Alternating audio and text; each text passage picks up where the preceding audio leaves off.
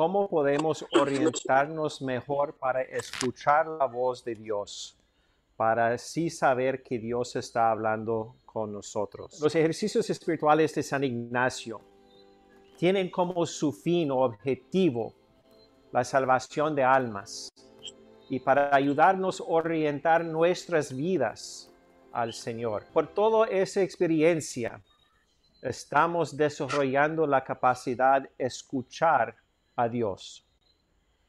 En los ejercicios espirituales, San Ignacio tiene dos reflexiones específicos que son muy buenos para ayudarnos a orientarnos al Señor. El principio y fundamento que dice que estamos creados por el amor de Dios para amar, servir y alabar al Señor. Ese es, el punto, el sentido de nuestra vida. Y todo lo creado es para ayudarnos a hacer eso. Y todo lo que nos sirve para crecer en esa relación con Dios, en la respuesta más generosa a su invitación, bueno. Y a las cosas que no sirven para adelantar nuestra relación con Dios, dice que esas cosas debemos alejarnos de ellos, porque no nos están sirviendo para el fin por, los, por lo cual nosotros hemos creado. La segunda reflexión que nos da San Ignacio es de dos banderas que dice que hay la bandera de Jesús y la, eh, la bandera del enemigo. Y entonces nosotros queremos seguir la bandera de Jesús. Pero muchas veces esa reflexión tal vez hoy en día no tiene mucho sentido para nosotros, porque nosotros no estamos acostumbrados de andar en una guerra, en una batalla, en una lucha. Pero en una lucha, en una guerra, hay mucho fuego, hay mucho humo, hay muchas distracciones, muchos ruidos y fácilmente podemos desorientarnos. Y entonces lo que la bandera sirve es para fácilmente podemos orientarnos en la dirección en que va nuestro campo, los que están con nosotros que podemos ver, ah, allí es mi bandera, en esta dirección yo quiero ir. Y entonces, cuando es, estoy utilizando esta imagen de, de fuego, de emergencia, ¿cuándo es el tiempo oportuno de prepararnos para alguna emergencia? No es en el momento de pánico, porque en este momento estamos inundados con información. Los sentidos están ya, estamos escuchando alarma, estamos viendo cosas ah, que están flashing, que están ya brillando y, y llamándonos la atención. Es casi imposible enfocar en lo importante.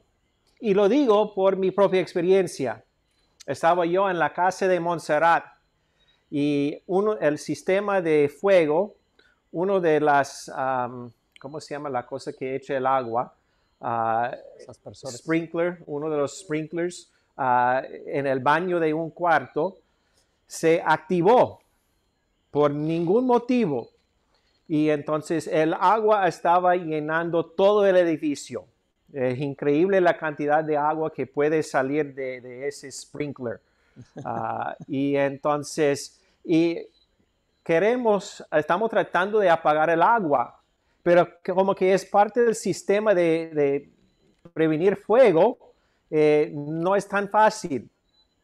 Y entonces yo estaba tratando de recordar cómo hacerlo y no pude recordar y, pues dónde está la llave para cerrar la, la, cosa y ah, fue tremendo. Y estaba yo en el cuarto y escuchando esta alarma y yo, ni puedo pensar. Entonces, por eso es importante que tenemos alguna estrategia de cómo podemos orientarnos a escuchar la voz de Dios antes de entrar en una emergencia, para que sea para nosotros nuestro instinto, ah, nuestro hábito de confiar en Dios. Y esa es la gracia que nosotros estamos pidiendo esta noche, para profundizar nuestra confianza en el Señor. Recuerdo durante mi experiencia de los ejercicios espirituales, estaba yo preparándome para la elección de elegir qué quiero hacer con mi vida. Quiero ser jesuita, quiero regresar a trabajar y buscar familia o qué, qué es lo que yo quiero. Y estaba en una conversación con el Señor. Señor, yo quiero ser feliz. Y entonces, ¿cómo yo puedo encontrar la felicidad? Y cuando hice la pregunta, el Señor se puso a, reír. Y entonces uh, digo, pues, ¿por qué ya ese es tan chistoso? Y me dice, pues, estás haciendo la pregunta incorrecta o no tan correcta. La felicidad, me di cuenta, el Señor me ayudó a entender que la felicidad que Dios quiere para mí va siempre a sobrepasar la felicidad que yo puedo desear o querer para yo mismo. Y al darme cuenta de eso, eh, fue como mis ojos se abrieron. Y yo, pues es una tontería no confiar en el Señor. ¿Cómo atrevo no confiar en lo que Dios quiere para mí si yo sé por mi propia experiencia que siempre sale mejor y más valiente para mí. Y entonces, eso es lo que nosotros queremos, tener la capacidad, confiar más en el Señor, para que nuestro instinto, cuando algo empiece a pasar en la vida que no entendemos, ah, yo sé que el Señor está conmigo. Siempre me ha impresionado eh, una historia o algo que dijo San Ignacio. Dice, tal vez un poco de profeta, que nada puede suceder en su vida, nada puede pasar, que él no puede resolver en 15 minutos con el Señor. Y digo, qué impresionante es tener esa confianza, que si yo llevo las cosas al Señor y siento su presencia, yo sé que Dios está conmigo, que Jesús está conmigo. No importa lo que pasa. Y dijo San Ignacio, hasta que ya se desincorpora la compañía de Jesús. Y entonces para él fue ya lo, peor de lo peor. Y algún día sucedió. y entonces, pero en su interior sabía, en una emergencia, yo sé qué voy a hacer voy a buscar a Jesús para ayudar a orientarme. Entonces quiero presentar unas dos lecturas de Isaías. Y entonces en la primera, yo quiero que nosotros escuchamos el tono de la voz de Dios. Que qué quiere el Señor. Y no estoy hablando de ustedes, este viene de, la lectura, ¿ok? Hay de estos hijos rebeldes, dice Yahvé, que traman unos proyectos que no son los míos y que se comprometen con pactos ajenos a mi espíritu, de modo que acumulan así pecados y más pecados están saliendo para Egipto sin haberme consultado para pedirle asilo a Faraón y refugiarse bajo la sombra de Egipto. Ustedes esperan la protección de Faraón, pero serán defraudados. La sombra de Egipto no será más que decepción para ustedes. Mil huirán ante la amenaza de uno solo, y ante el ataque de cinco, todos ustedes huirán, y solo sobrevivirá de ustedes un resto, como un poste en la cumbre de un cerro o como un palo de bandera en una colina. Y entonces al escuchar esas palabras del Señor, ¿cuál es el tono de voz? ¿Qué perciben? ¿Han tenido esa experiencia en tu vida de dar una admonición así? ¿Es un regaño de enojo? Yo, yo lo percibo que, muchas veces el Señor me dice lo mismo. Ay, hijo rebelde, ¿qué es lo que está pensando? Ah, y entonces, pero lo dice con mucho, mucho amor, con mucho cariño. Ah, y a veces un poco de desesperación, que no ves que, que, vas para el mal camino, que esa gente te están engañando y no te va a salir como que tú crees. Ah, y entonces, ya la, voz de Dios habla directamente y puede hablarnos con fuerza.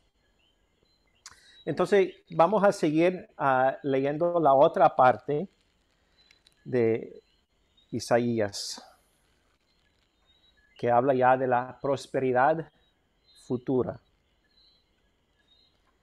y lo que Dios quiere, porque queremos escuchar lo que Dios quiere.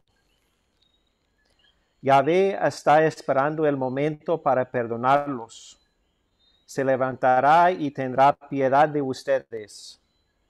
Pues Yahvé es un Dios justo y felices los que en él esperan.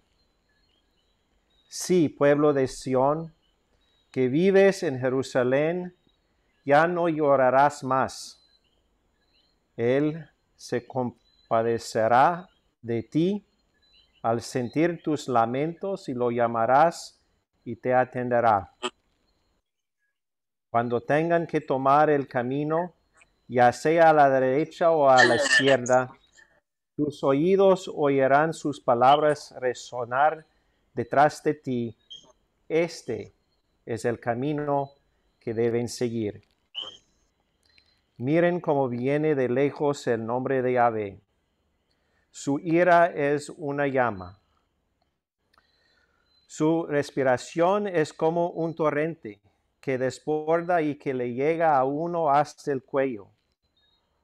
Ustedes cantarán entonces como en una noche de fiesta, en que todos los corazones están contentos. Pues por orden de Yahvé, Asur será maltratado a palos y castigado. Una y otra vez recibirá los bastonazos que le pegará Yahvé, porque de antemano está preparado la hoguera, que será también para su rey, una fosa profunda y ancha, llena de leña y paja. El soplo de Yahvé que es como un río de azufre, le prenderá fuego.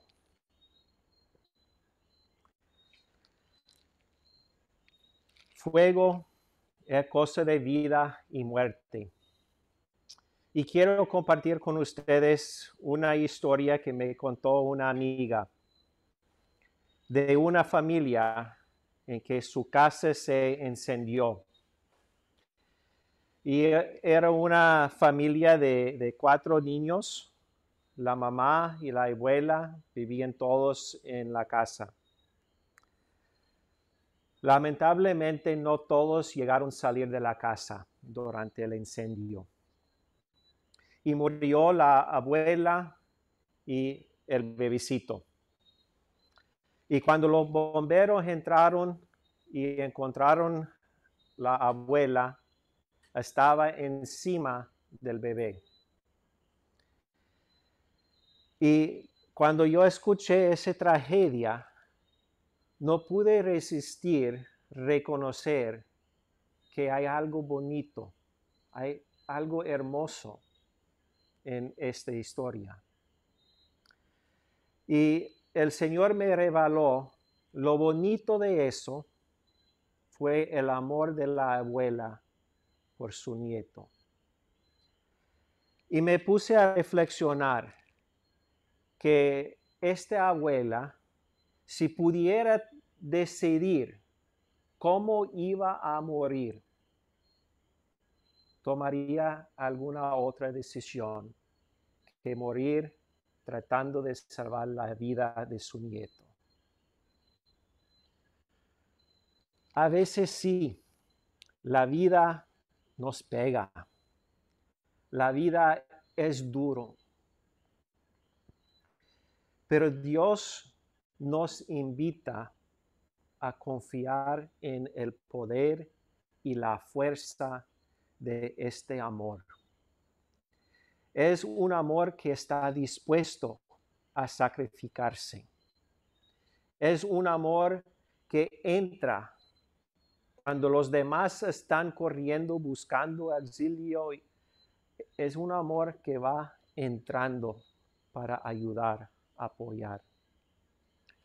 Este es el amor que escucho yo en la escritura, en esa lectura de Isaías, que el Señor tanto nos quiere, que por tanto que nosotros tratamos de ser rebeldes, hijos rebeldes, que el Señor insiste en amarnos. La última respuesta de Dios a nuestros pecados a nuestra resistencia de su amor es la persona de Jesucristo, que viene para enseñarnos cómo amar. Cuando escuchamos la voz de Dios, nuestros corazones están llenos con más amor. Cuando nosotros sentimos este fuego de amor ardiendo por dentro de nosotros, sabemos por seguro que estamos escuchando la voz de Dios. Y entonces, no importa el sufrimiento, las dificultades, los obstáculos que nosotros pasamos en la vida. Cuando Jesús y Dios está con nosotros, el miedo desaparece el temor ya no hay. Simplemente este fuego de amor.